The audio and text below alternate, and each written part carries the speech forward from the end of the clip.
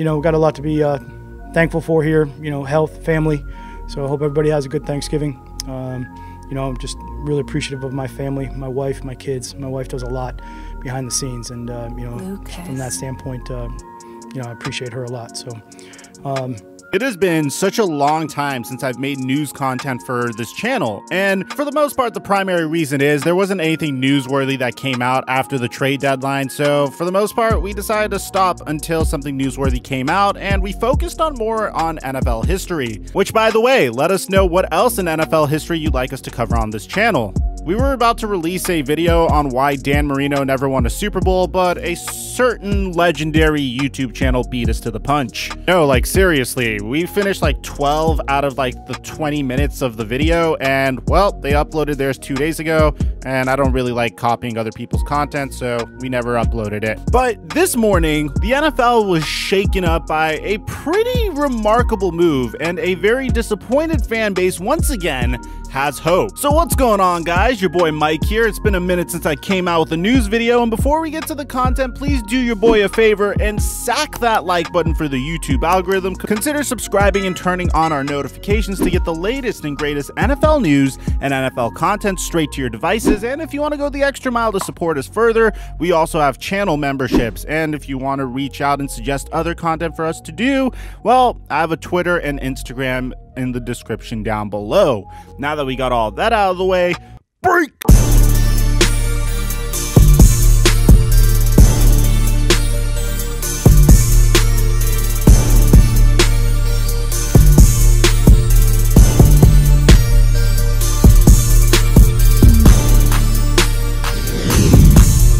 Well, let's start with the Matt Patricia part of it because my understanding was if they lost on Thanksgiving, which obviously they didn't, in really pretty horrific fashion to the Houston Texans with the entire country watching, watching, if that happened, then Matt Patricia was surely going to be fired. We knew that going into the game, talked about it on game day morning, just how important that game was for Matt Patricia. Then they went out and really had no answer for several things that the Texans did have all had all sorts of turnovers. It did not go well, and really then it was just a matter of time. Clearly, at that point, Matt Patricia was not going to be the Lions head coach any longer. It was really just a matter of was the organization going to fire him on Friday, or were they going to fire him at some point going forward before the next game week? They decided to do it uh, earlier today in an announcement, really just just a couple minutes ago. Uh, he was a defensive coach. They never really played great on defense. And, and, you know, Matt Patricia came in and really tried to change the culture of that place, did a lot of really good things as far as the infrastructure. It just never translated to wins. And, and even this year, when I know he won over the players and was uh, certainly someone the locker room respected, it still just didn't lead to wins. That's the Matt Patricia part of it. The Bob Quinn part of it is a little more surprising. He, he also kind of filled in the infrastructure here, fixed some scouting issues that the team has had, that the team had, worked on their processes in a way uh, that was really pretty impressive considering where it was. So inside the building, he did a lot of really good things, uh, but he also was instrumental in bringing in Matt Patricia, who is his good friend. The two thought alike on a lot of things, were in lockstep on several personnel decisions, and even though the organization evaluated them separately, it seems like it was just hard to get over the fact that they fired Jim Caldwell to bring a new kind of winning to the organization, and really none of it happened. So in the end, a total house cleaning for the Detroit Lions earlier this afternoon. Mic check one two one two. What's going on, everybody? Guys, the Detroit Lions have been through a lot over the past two decades. The earliest part of the Lions' misfortunes that I remember was drafting multiple draft busts in the early part of the 2000s. Literally, starting in 2002, they drafted Joey Harrington with the number three overall pick. And then in 2003, they drafted the late Charles Rogers, literally a pick before Andre Johnson. I'm Charles Rogers. I had 68 catches and 13 touchdowns. Sing it! I'm Charles Rogers. I... Sing it! I'm Charles Rogers. I had 68 catches and 13 touchdowns. I'm Charles Rogers. I had 68 catches. Welcome to the big time, Ruck. Speaking of which, guys, we are releasing a video on Andre Johnson's fight with Cortland Finnegan this week, so keep your eyes out for that. Then in 2004, another wide receiver draft bust in Roy Williams. And honestly, this streak continued until 2007 when they drafted Calvin Johnson. And then they went ahead and they pretty much wasted the guy's career. But and his career went on to be fairly excellent when you take account his individual statistics. But when you look back at his accomplishments as a member of a football team, well, Detroit literally burnt him out so badly that not only did Calvin Johnson retire prematurely, but he doesn't even want to watch football games anymore. He hates the sport at this point. Well, you see, the Detroit Lions did luck out in some ways. Drafting Matthew Stafford, I believe, is one of the better picks that they made over the past decade. And he's a player that I always thought had tremendous potential. He can make any throw that you could ask from a quarterback. He's fantastic at reading defenses, but here's the problem. Just as they did to Barry Sanders and Calvin Johnson, the Detroit Lions failed Matthew Stafford miserably. And believe me, they tried multiple approaches, hiring Jim Schwartz in the earlier part of his career to make his team a little bit more defensive minded and relying on Matthew Stafford to carry the offense. It did work in a season or two, but it didn't really work the latter part of Schwartz's career, and then Jim Schwartz got fired. Then they decided, hey, maybe we should get an offensive minded head coach for Matthew Stafford to, I don't know, make his life a little easier. And they did that with Jim Caldwell, and well, that didn't really work as much as they'd hoped so either. Eventually, two years ago, Jim Caldwell was fired. And at that point, the Detroit Lions said, okay, there's no way we're going to botch this one. This is never going to go bad for us. We're going to take a member of the Bill Belichick coaching tree and we're going to try to plug him into Detroit and we're going to try to make us the mini Patriots. And this has happened many times before. And I want to say more often than not, this typically fails. And for Matt Patricia, this is probably the biggest failure I have ever seen for a head coach ever. Let's start with the fact that the moment Matt Patricia was brought in as the head coach of the Detroit Lions, he was indicted on a sexual assault charge. And this is not a good look when you're just starting a brand new job for a brand new organization, looking for a fresh start, and you want the members of your locker room to respect you. Because from the very beginning, it seemed like Matt Patricia lost the locker room before he even had a chance. He alienated a tremendous quantity of his players, so much so that he alienated probably his best defensive player in Darius Slay. And literally, if you hear the incident that happened between Big Play Slay and Matt Patricia, you'll vomit in your mouth because it's absolutely atrocious and really illogical to say this to your best player. He apparently, and this is according to Big Play Slay, he told me in front of the whole team in the team meeting room. He showed clips of me in practice getting a ball caught on me or so in practice.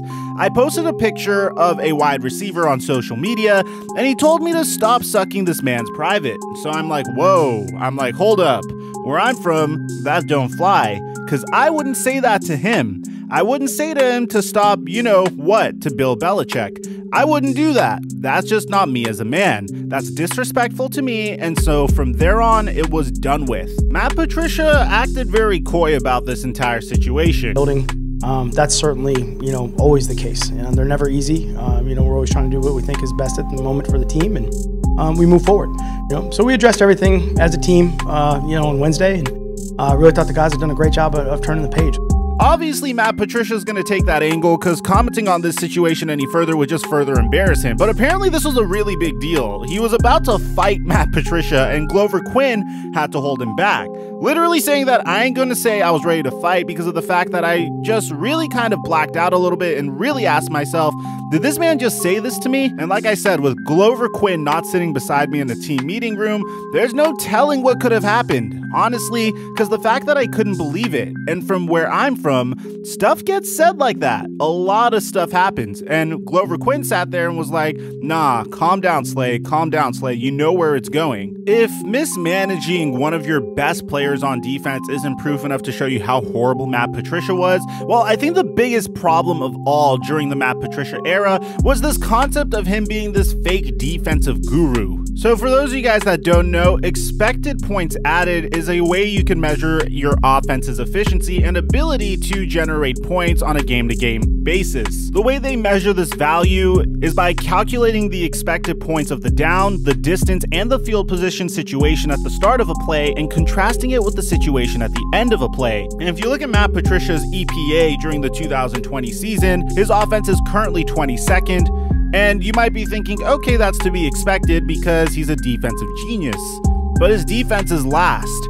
And when you hire a coach that is supposed to be a defensive genius and he alienates your best defensive player, and currently, by the way, I hope this doesn't end up happening. I never wish horribly upon any player, but the rookie sensation that he drafted to potentially replace his star player ends up looking like he's about to trend towards draft bust territory that's when you need to punt on Matt Patricia and try to bring on someone else. So, who is someone else? Well, ladies and gentlemen, someone else might be significantly better than Matt Patricia. And the someone else that you guys got actually has a promising track record because the interim head coach for the Detroit Lions for the rest of the year is Darrell Bevell.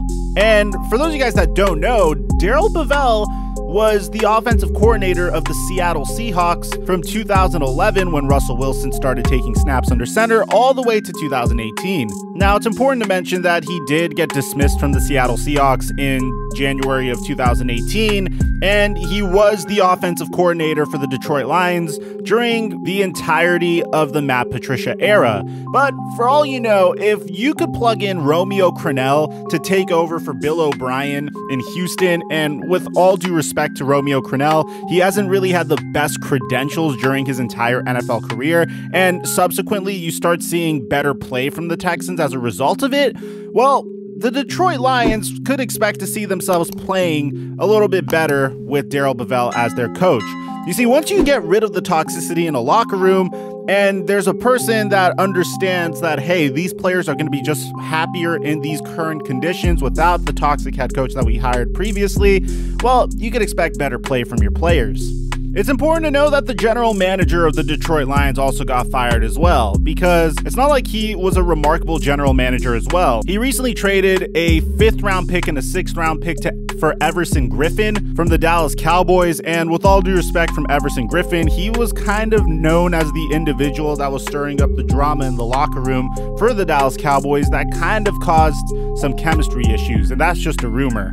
So, the good news for you guys, if you're a Detroit Lions fan, is the fact that, hey, you're going to get a fresh regime, and at least you're not the Texans, because the Texans are looking to have a top 10 draft pick this year that is going straight to the New York Jets. You still have a first round pick, a second round pick, a third round pick, and a fourth round pick. What's really important is the Lions are going to have to do something that they haven't done in quite possibly almost 20 years, and probably even longer. I'm just saying 20 years because that's how long I've been watching the sport of football. And that's the fact that they need to hire a competent general manager and a competent head coach. If you're the owner of the Detroit Lions and you're looking for two individuals to hire, might I suggest myself as general manager and Brett Coleman as the head coach? Aside from that, I'm your boy Mike, and I'm dropping our mic until our next upload.